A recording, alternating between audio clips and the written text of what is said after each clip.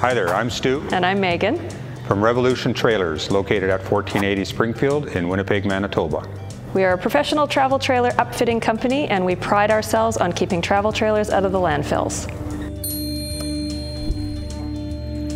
Thank you to RV Mattress by Brooklyn Beddings for sponsoring today's video. Visit rvmattress.com forward slash Florb to get 20% off your mattress with code Florb. RV Mattress is the place to go if you're looking for a mattress for your van, camper, bus, or RV. They're made right here in the good old USA and provide next level comfort. They offer non traditional sizes to fit perfectly into your lifestyle with different firmness options, heights, and dimensions. What you'll find will exceed your expectations. Shipping is free, and the mattress comes with a 10 year warranty. Also, Brooklyn Beddings is so confident in their product that they offer you a 120 night sleep trial. So you get four months to make sure you love it, and if you don't, you get a full refund and they will pick it up for free. So there's zero risk to trying this out. I highly recommend you check out rvmattress.com forward slash Florb to get 20% off your mattress with code Florb. Check it out now and enjoy today's video. And remember to subscribe.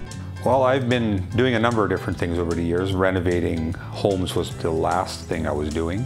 It was actually my wife that gave us the inspiration for this. Wife and I have had a couple of travel trailers at seasonal lots. She was always asking me to paint the kitchen because the kitchens are always dark. And she said, have you ever thought of renovating travel trailers instead of houses? Having a shop being in one place. Didn't have a ton of experience working on travel trailers particularly. Tiny houses, that was something we looked at at one time. It's difficult up here because our governments aren't as as open as they progressive, yeah, it's a good way to put it. And then incorporating all the things you need to put into one of these if you're living in them full time. You've got 12 volt systems, 120 volt systems, you've got gas, you've got water, you've got sewer, you've got, you know, fresh water to haul. They're purpose built. And so you can take what's purpose built and then make it better. You know, to, to rebuild this from scratch would cost more than even buying it new. You don't need to reinvent the wheel, just make it better. The recycling component for us is, is giant, the three R's. You know, keeping keeping these things, you know, this thing is 16,000, that's eight tons. So you take that and dump it in the landfill, 100 years from now, it's gonna look pretty much exactly the same as it does now.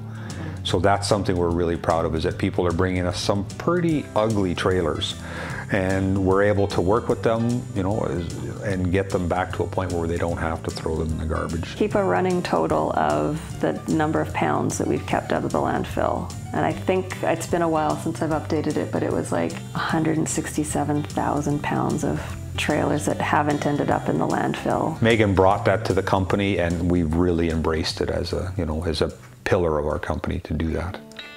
Well, welcome to uh, our latest project in the shop here. It's a 2004 Sunnybrook Titan 36 foot fifth wheel trailer. The clients for this trailer are going to live in it full time in uh, southern BC, so it makes a good trailer for that. We purchased this trailer on behalf of the clients here in Manitoba. They haven't actually seen it up close and personal yet. They've only seen it by picture and, and video. This is actually a switch for retracting and extending the bedroom slide out, so you can do that from outside. This is a, a giant, we call it the garage. It's got a huge compartment that goes all the way across the trailer. It also has a slide out tray that you can access from both sides, which is the full width of the trailer, so you can put all kinds of things on that. Most of the time, your plumbing runs on the exterior. What they've done on these trailers to give them a winter package as they call it, almost all your plumbing, your fittings are all inside the body of the trailer. Then there's a frame, there's insulation in that frame, styrofoam insulation in the walls. So that gives it a little, a little more comfort in those cool things. This compartment used to be where the hot water tank is. Now we've removed it and we've put the hot water tank externally. It's got three simple connections, two little screws. It comes off, you can just put it inside the trailer. It replaces your normal hot water tank, which holds and heats a small amount of water. So it gives you instantaneous, on-demand hot water. This is still accessible because there's a lot of water fittings inside there. You've got another storage component, and this is also where your wastewater valves are to drain your system. Again, they're inside the trailer where most of them are on the outside of the trailer. This is your furnace here. You've got a sewer tank flushing unit, fresh water coming into the trailer, electrical system, exterior plugs, Cablevision, which nobody uses anymore. We're installing a Starlink satellite. There you go, Elon, there's your plug. And the other compartment on the back of this trailer is where they store their, their power cable inside here and other things if they wish. We've added a fireplace to this one, so we have a chimney sticking through, this, through the roof, which is highly unusual for an RV, but it's one of the things they want is there another supplemental heating system for it. This side of the trailer, there's also a couple of storage compartments. There's, that's the one thing with these things is there's lots of storage. You've got your jacks and different things inside there. And then on this side, battery compartment in here. One battery on this unit. The clients are actually supplying two large battery packs, which we're gonna wire into the unit. So when they're boondocking or off grid, they can have certain things running, which is gonna be their Starlink, their TVs, their laptop computers. They can run them off the battery packs. And so that battery there is basically for your 12 volt lights and a couple small control panels. You've got your propane tanks inside. And like I said, everything on these trailers is mounted inside the trailer up above the floor so it helps with that wintering. More storage here. And this is the other half of the large garage that we saw on the other side. Again, with the slide out tray that comes all the way out here for lots and lots and lots of storage. And there's more storage inside the unit as well. So that was it for the outside. Let's go take a look at the inside. Okay, well, we'll start here in the dining area. This is going to function as both a dining area and a work from home space. So we've added some storage in the bench area there. They've opted not to have a traditional booth set up in here so that they have that versatility to move it back and forward if they need a little bit more space. Freestanding chairs gives them the opportunity to move them around or use them wherever they're going to be needed throughout. Lots of overhead storage in these things. Every little bit of storage helps.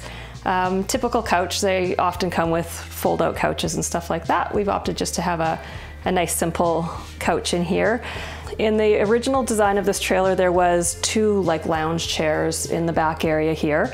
The clients really, really wanted to incorporate a wood burning stove into the area. They actually sourced this specifically. It's a British made stove called Salamander, but we also had some space raising it up. So we wanted to make sure that we could use that space. So we've got nice deep drawers here that can store all kinds of things. The um, wood storage area here has three compartments for storing wood and kindling and things like that and then I've taken the handle off, but this actually lifts up and they have a vacuum cleaner that's gonna be stored and charged in there so that they can use it throughout the space. Um, originally, this was a whole built-in area that had a TV that just sat on the counter.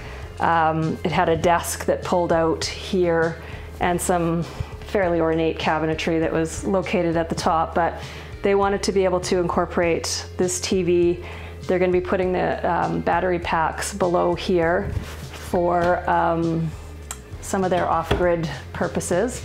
Um, we kept the drawers, but we were able to kind of open up the space a little bit and make it a little bit more usable for their needs.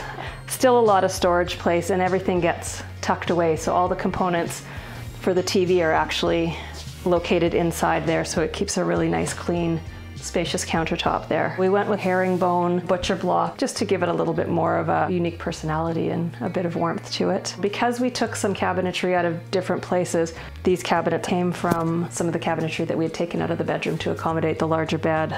So we were able to reuse quite a bit without having to do anything custom. So we've got typical propane powered stove, hood fan. They're actually gonna have a microwave that they keep tucked away under the cupboard and only bring out for when they want to use it. Quite a large fridge for an RV. Originally there was a, a microwave in the middle of it with a little bit of storage and some open storage above. Um, they didn't want to have the microwave but wanted to have more pantry space so we were able to give them a, a fairly large pantry space here where they should be able to keep a lot of stuff in there. We went through about 15 different sinks before we found one that would fit in the space. Finding one that's small enough for a, a non-traditional depth island was a bit of a challenge, but um, we found this beautiful hand-hammered copper sink. We redesigned the island a little bit. Originally, there had been door access on both sides of it. Our client really wanted to incorporate a bit of a farmhouse feel in this X design. Changed it around a little bit, kept the same openings on the front side, but we were able to give them a little bit of this design aesthetic that they were after. So we have master switches that basically activate the slide outs and then the switches that move the slide outs in and out. But basically it comes right in and when you get to where you're going, it slides right out. And as you can see, it really makes quite a difference in the amount of space that you have in here. So up here we have the bedroom bathroom area. So we have a full-size, full-height shower here. This particular unit actually has a washer dryer inside, so you can do all your laundry. And then this is the water closet. Um, client chose a very, very fun wallpaper for in here. We've added a mirror on the back of the door. Um, and then this one has the sink area. Put a smart tile backsplash in and went all the way up to the ceiling. Um, swapped out all the lighting in this area. So we have actually on dimmer switches. They really wanted to have their lights on dimmer. So pretty much every light in here has that ability. Um, and then we, originally there was quite a small sink and a very small tap in here, so we were able to give them a bit of a bigger sink. This family is going to be working from home. Um, both of them are remote. So we have, as I mentioned, the dining space as a workspace, but we also have this one, and this has the ability to, see if I can do it. So it folds down and out of the way if space is needed, um, but very easily pops up and laptop and um, whatever she's going to need for work. And then that brings us into the bedroom. So it was a queen size bed, and having a king size bed was something that was very important to this family. Originally, the bed actually came out of the slide in. We've made this as the wardrobe closet. So we have four big deep drawers. We've got two um, full-size cupboards for hanging. And then the bed also flips up and there's a whole bunch of storage underneath the bed. We added a bedside table with storage there as well. And when the slide out comes in, it actually slides in underneath the bed. So this whole part comes right up basically to the edge of the bed here um, so that we were able to maximize every inch that we could possibly get out of here. That's basically how we made a queen size bedroom into a king size bedroom. Every single project is different. That's part of the fun is the creativity. It's oftentimes standing in the corner going, hmm, you know, can we do that? We say if you can dream it, we can probably do it. I'm not going to say we can do it because, you know, there clearly are some things yeah. that we couldn't do. But if you think something would be really cool, there's a, a good chance that it can happen.